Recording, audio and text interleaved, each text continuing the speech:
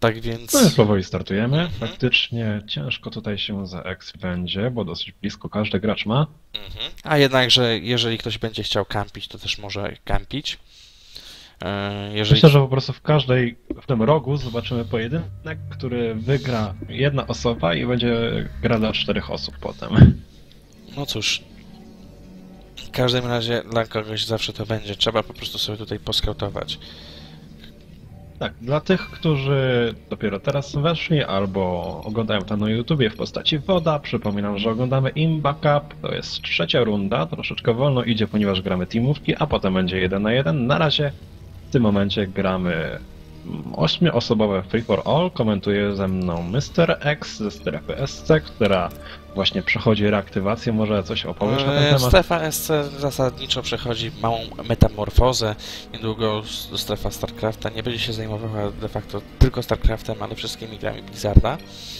E, Diablo, Hearthstone, czy też e, HOTS nowy, który wychodzi. HOTS to w tym wypadku nie StarCraft, a Heroes of the Storm. Zawsze to jest e, coś większego, więcej fanów będzie e, tych gier Blizzarda, może będzie większe połączenie tych wszystkich środowisk. Jak wiadomo, spora część graczy grająca e, w gry Blizzarda nie gra tylko w jedną grę Blizzarda, ale gra też w inne. Tak jak właśnie Hearthstone, jak też Diablo 3, czy też po prostu to, co wyjdzie. Prawdopodobnie większość graczy to będzie grało także. Tym bardziej, że StarCraft, jak wiadomo, ma jednego uniwersalnego launchera tych nowych gier. I to jest jednakże coś już ciekawego, tak? Tak, myślę, że to jest po prostu taka wasza droga z, zgodnie z przyszłością po prostu sceny, bo teraz, tak jak mówisz, każdy gra nie tylko w jedną grę, ale ja tam ostatnio grałem Hearthstone'a, tak samo nie zapominajmy o osobach, które męczą ciągle WoWa, który ciągle się rozwija z kolejnymi upgrade'ami. Mhm, zapomniałem o World of Warcraft. Może dlatego, że akurat ja sam bardzo mało czasu spędziłem na World of Warcraft. I dobrze dla ciebie, do twojego czasu. No, wiesz, w momencie akurat jak e, był World of Warcraft, to co ja robiłem? Nie wiem. Ciężko sobie przypomnieć, a prawdopodobnie siedziałem długimi godzinami w laboratorium i miaryczkowałem różne rzeczy. Hmm. To mniej więcej to samo, co ja robiłem, jak zaczynałem studia, teraz już mniej takich rzeczy jest. No dobrze, no to co się dzieje? No, nasi gracze się budują. Mm, nie będę mówił kto co robi. W każdym wypadku wiadomo, że niektórzy gracze skautują. Scout jest imbą w tej grze. Co się dzieje? Tutaj mamy Tak. Saper nagle ma po 300, 300 APM-u. Czyżby się, no, czyżby korzystał z mojej metody spamowania? Tego na to, że tak. Jeżeli korzysta z Chciałbym zauważyć, że największym szczęściarzem chyba w tym momencie jest Irichi, który nie ma zespawnowanego przeciwnika do pojedynku w lewym górnym rogu. No i w tym momencie wszyscy, którzy ewentualnie słuchają, wiedzą, gdzie jest Irichi. tak, dlatego raczej odradzamy stream czytowanie. Czy kto pójdzie do Irichi, zostanie zbanowany, zdecydowanie. No chyba, że to będzie ktoś jakoś tak specjalnie yy, taki naturalnie, jeżeli to wyjdzie, to tam nie będzie to tam brane pod uwagę. Tak, Popatrz, myślę, że ja przypadkiem o tym wspomniałem, to wszystko było zaplanowane. To popatrz było na po to, stream Co tutaj cheaterów. robi Gos- Gosborek? Ma strasznie wysoki APM, a tak nie, nie widać, widać niewiele tutaj się dzieje. On Saker XP też. już. Aha. Myślę, że zobaczymy ciekawy pojedynek między Ghostborexem a Rayfiu, ponieważ obojgu z nich najprawdopodobniej będzie chciało się zaekspić, a to ich zbliży niesamowicie do siebie. Tak, no popatrzmy sobie szczerze, to jest mniej niż rzut beretem. Pomiędzy jedną bazą a Tak. drugą bazą to jest nawet to nie, nawet nie jest zasięg Siege Tanka. Tak, jeśli teraz Ghostborex się szybko nie zorientuje i opamięta, to jego przeciwnik zaraz zniszczy go Cloak Banshee, które są w produkcji, a niedaleko mają do przeciwnika. Oj, problem. Command Center zostanie przeniesiony, zanim zostanie zbudowany Orbital i myślę, że to jest zła decyzja, żeby się expić w tym miejscu, w którym Ghostborex się expi, bardziej na lewo powinien dalej od swojego Tak, przeciwnika pójść. to jest tragiczna decyzja, jak mi się wydaje. To jest naprawdę bardzo śmieszne. Popatrz, te cztery Marisy. Zobaczą Command Center lądujące w Izu Naturalu tak właściwie. Ojej, w tym momencie Ghostborek Jeszcze sobie za- musiał zadać e, pytanie. Planetary Fortress Rush, to jeszcze by miało sens. Ale Tak. w ten sposób to nie bardzo. A to byłoby po prostu śmieszne. A chociaż niestety, jak tutaj się budowała Banshee... Czy jest ta Banshee? Jest Banshee. Patrz, Jest leci Banshee. Leci, jest Banshee, tam Jest tak jest. Engineering Bay, także jest szansa, żeby to wybronić. 8 energii na komandzie. Ach, Lagę. tak, tak. Dopiero tu zespawnowany mu niestety. Ojeju. I Ghostworks ma spory problem w tym momencie. Pojawia się tank. No to teraz jest pozamiatane troszeczkę, bo chociaż te trzy No, Marinesy, te, te trzy Marinesy to są zamiast- za daleko, za, za, za daleko od sztanka. Ojej. Zobacz jak mocno Greedy zagrał Ghostworek. Chciał wziąć ekspansję, buduje drugi Engineering Bay i to się na nim troszeczkę odbije. Tak. Jak ktoś tutaj mówi, że na 4, na 4 są większe mapy. Owszem, są większe mapy, ale tylko na takich no, mapach widać, jakie te niektóre jednostki są... ciekawe. Halo, halo? Ech, Tak, e, ale... słyszę cię? e, Dobrze, ja ciebie też słyszę. Dopiero na tych, na tych mapach, na tych mapach ta, dopiero widać, jakie te jednostki są... Niektóre kombinacje jednostek są po prostu silne. Są stare, znane... Tank i Banshee. Bardzo Tak. dobra kombinacja na tym mapie. Prawda. No, jeżeli chciało się ekspować, to można było zrobić coś sprytnego i sobie po prostu pójść na środek gdzieś, na złoto, zaekspować. Bo- Popatrz, te pozycje są jeszcze nie wyskautowane. I na dobrą sprawę są one bezpieczne. Tak zdecydowanie po prostu Ghostworek zagrał zbyt greedy jak na tą mapę. Musimy przygotować na coś bardziej e, agresywnego w stronę przeciwnika, który jest tak blisko i który jest teranem, więc może mu spokojnie takie rzeczy zrobić. Więc Patrz tutaj, co robi nasz zagrał. saper. Tym bardziej Botor teraz atakuje na dole Insanity, który właściwie został zniszczony. No niestety, Dobrze, przegapiliśmy akcję. Tutaj Templary posprzątały wszystko. Ten. popatrz co się dzieje. Ten model Shipcore ma energii mnóstwo, więc spokojnie mógł być rzucony overcharge. Co tu się dzieje? A, i Sanity odszedł z komputera prawdopodobnie. Chwilę. Musiałbym przewinąć czat. Popatrz co się dzieje. Jego APM wynosi 0. I Insanity jednostki nie atakują. po prostu. Co mówię. Tak. Nie ma wizji, jego budynki są neutralne, więc to już jest koniec.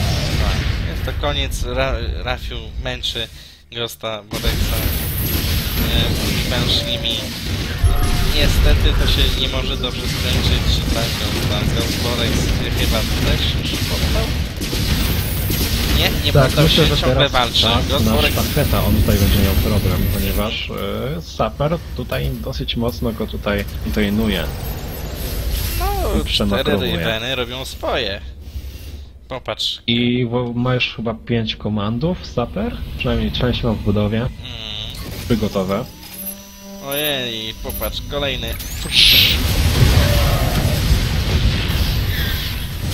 I bardzo często widziany mordy w ośmiosobowym. Przeprowadzka. Mm. Tym bardziej, że ta przeprowadzka tutaj na tej mapie ma naprawdę straszny sens, bo tyle złota na tej mapie jest, aż jest po prostu grzechem nie zaekspować na złocie.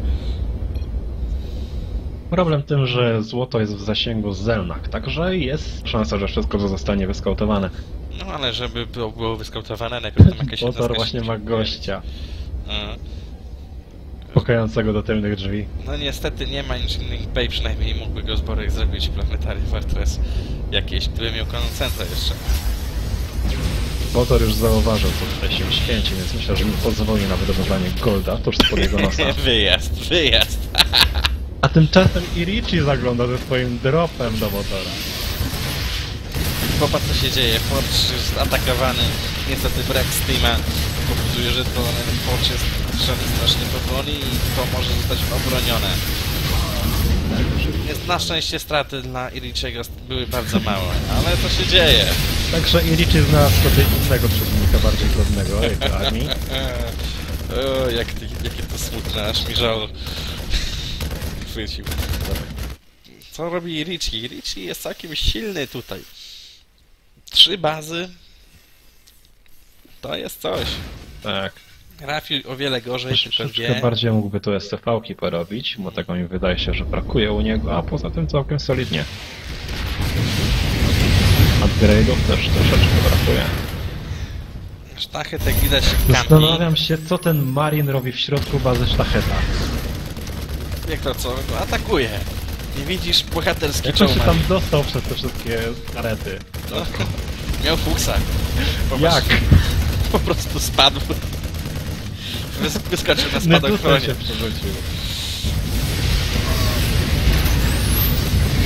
Master Raveny kontra Maraudery. Kto wygra, jak myślisz? No jak dla mnie to wiesz, te Rweny mają bardzo mało energii i jak gdyby Tachet troszeczkę pocisnął dalej z kampą, to miałby całkiem spore szanse na wygranie, wiesz o tym. Dobra kampa u Terana nie jest zła i dobry, dobrze kampiący Teran to jest śmiertelny teraz. Ja nic nie mówię. Zobacz, jak wygląda właśnie strategia gracza, który nie ma pełnej wersji StarCrafta. Eee, każdy element krawędzi jest otoczony taretami. No tak. Chyba każdy tak zaczynał, nie uważasz? No, każdy tak zaczynał, ale popatrz, mało który gracz początkujący zrobił upgrade'y, mało który gracz y, korzystał Tak, z nich. podwójne upgrade to już jest, To jest to naprawdę jest coś. całkiem dobre zagranie. Tak, upgrade'y, dwa command centry, no przydałoby się, żeby ten command center gdzieś pracował, gdzieś robił jakiś ninja mining, czy coś w tym stylu. Chociaż z drugiej strony podwójne upgrade z Engineering Bay i podwójne upgrade z Armory z jednej bazy. No wiesz, niektórzy mają fantazję. Jak ludzie nie mają doświadczenia, to jeszcze nie liczą, nie?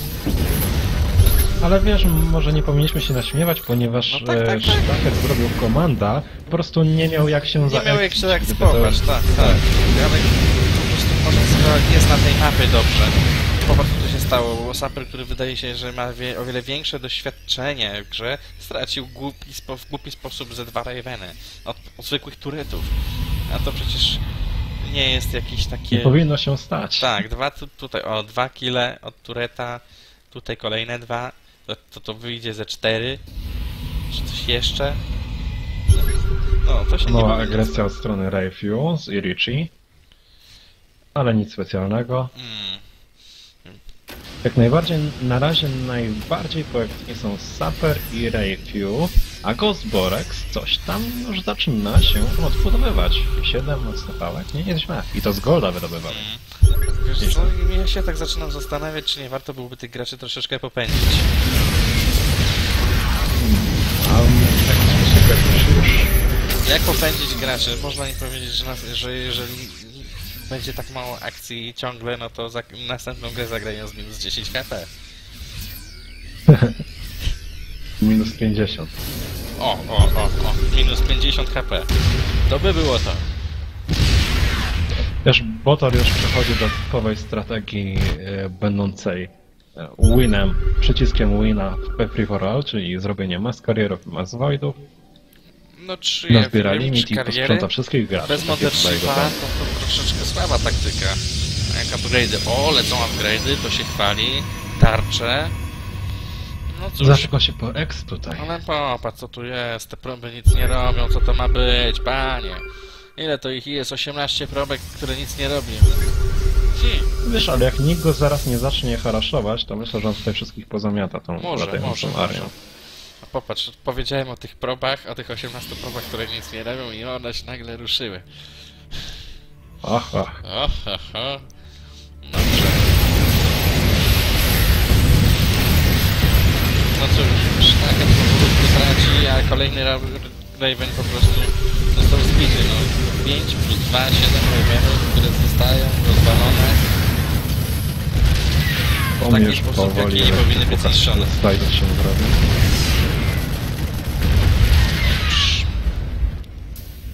Rafiu rusza swoją armię, Gosborex wydobuje minerały.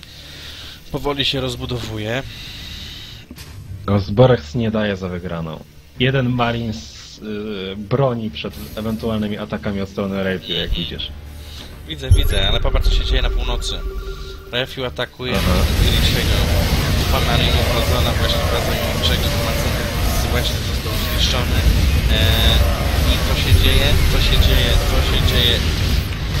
Te Siege Tanki i te Mariny, no niestety ten szturm tych Marinów nie może się za bardzo udać. To są naprawdę potężne, ale naprawdę potężne jednostki, jeżeli chodzi o rozwalanie jednostek z małą ilością żyć.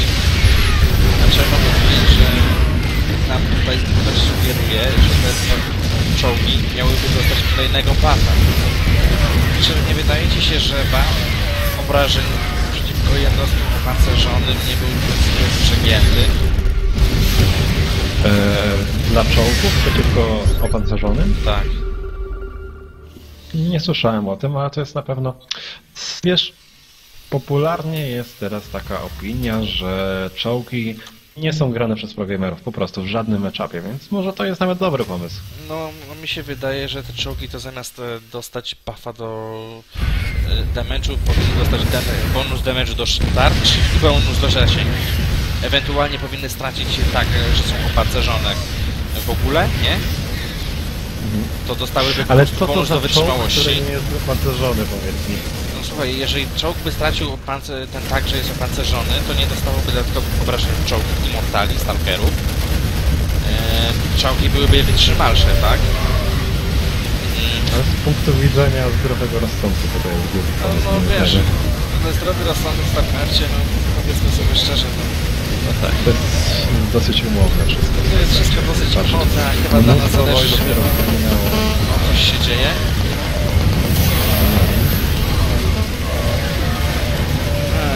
Telefon, chyba w słuchawkach. Bądź mój, nie wiem, ale mój rzuciłem. Nie, to jest mój. Widzę, że ktoś tam dzwoni, ale nie będziemy sobie teraz tym ja, przeszkadzać. ja swój położyłem sobie na podłodze. Mam nadzieję, że nic się nie stanie. No, wracając Mój do jest czołgów, niby 2 metry ode mnie, a jednak. wracając do czołgów, to mi się wydaje, że właśnie zwiększenie zasięgu o 2 czyli byłoby o jeden więcej niż overcharge, prowadziłoby czołgi do gry i dodatkowe obrażenie przeciwko tarczom. Na pewno to by utrudniło, utrudniło trochę adap- adaptowanie czołgów. Takie zwiększenie zasięgu dla nich. Mogłoby być troszeczkę dalej. No wiesz, czołgi, żeby były skuteczne, ciągle musiałyby mieć jednostkę, która by musiała widzieć za czołgi, czyli wikingi. No ale to jest, to byłaby pewnie, pewna zmiana, nie? Tak mi No całkiem niezły pomysł. No, taki czołg, nawet zabranie tego pancerza to by rozwiązało problem Immortali, nie? Ale problem Immortali to ja myślę, że trzeba rozwiązać w inny sposób poprzez e, dodanie nieopancerzonych wikingów wersji lądowej do faktorki. Taki pomysł dziwny, e, ale no cóż, taki wiking nieopancerzony był by ginął dopiero od pięciu strzałów Immortala, a sam w tym samym czasie mógłby i tego Immortala, no przynajmniej tarczę mu zdjąć, tak? Tak, jeszcze wracając do gry, bo istotne. Właśnie widzimy kolejny plan awaryjny Ilichiego. Plosę, zostaw mnie. Tak. No niestety tutaj Ilichi powinien troszeczkę potrenować granie na Terana. E, Na Terana się- powinno się grać przede wszystkim dużą liczbę wikingów, y, czołgów i marinów. To zawsze działa. Jest.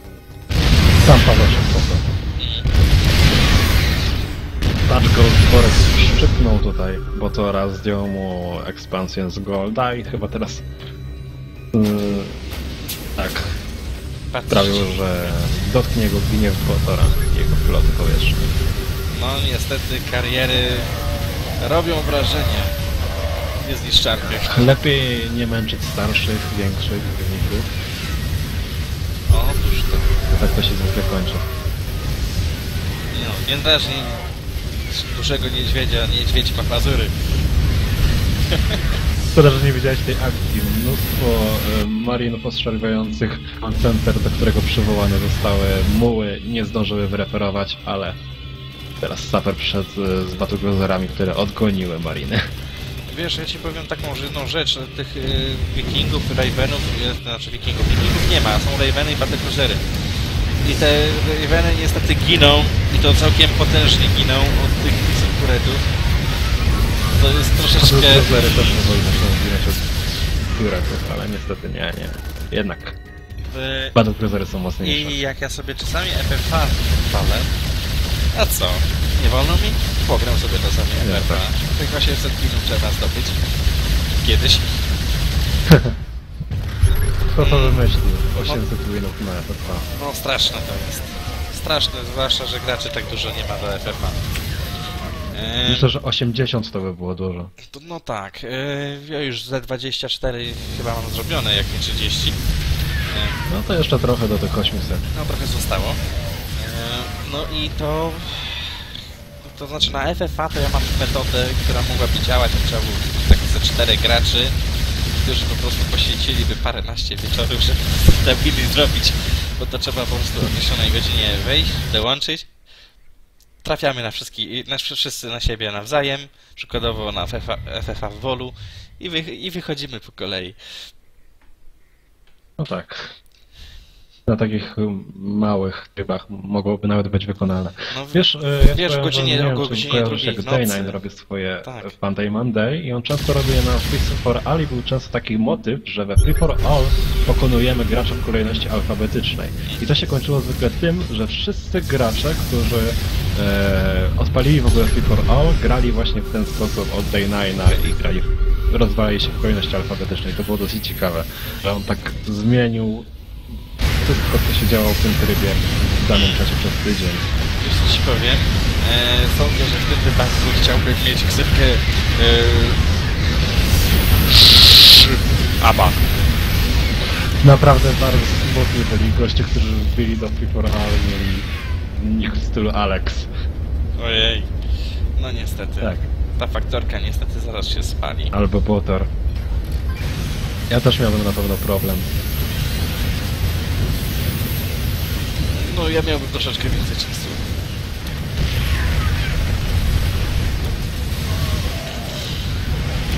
No cóż, kariery są jednakże siłą i mocą.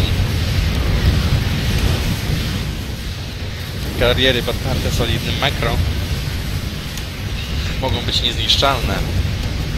I jedyne co zniszczy te kariery, może zniszczyć te kariery to po prostu masowe użycie Yamato Canon na tych karierach trzeba zrobić coś takiego, że się robi skana, pyk, skan i, i, i, i, i. w międzyczasie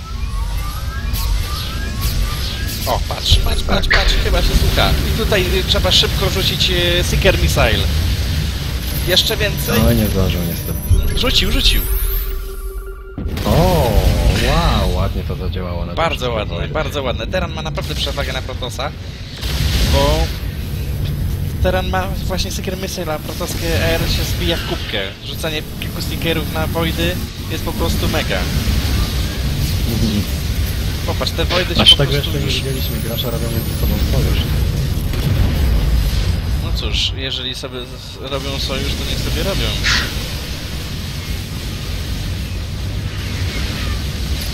Ale popatrz, co się dzieje. Te Yamato nie zostały wykorzystane tak jak należy i kariery sobie poradziły. Pytanie tylko, co miało tutaj lepsze up- upgrade'y? Czy miał lepsze upgrade'y? Protoss tak miał ulepszone... y, Lep, no, był lepiej ulepszony. Te BT Cruisery miały praktycznie zerowy pancerz, to nie mogło się udać. Gdyby te BT Cruisery miały po prostu porządny pancerz w stylu tych swoich czterech, teraz czterech, nie, pięć Zobacz poza tym, jakie możliwości Remaxu ma w swoim mainie. Motor ma naprawdę konkretne możliwości Remaxu, 9 karierów robionych naraz, albo 9 wojdów robionych naraz. To jest naprawdę potężna siła ognia. Tego się nie da praktycznie ogarnąć. To jest po prostu rzecz niepojęta, jak można szybko zwiększyć tę siłę ognia przez e, po prostu łatwe wciśnięcie przyciska V. Wciskasz No dobra, myślę, że już teraz mamy w tym momencie dwóch faworytów. E, I w zasadzie myślę, że Botor jest tutaj w zdecydowanej przewadze, jeśli chodzi o pozycję na Draft Ratio. No tak, Refuel ma dużo tanków, a tutaj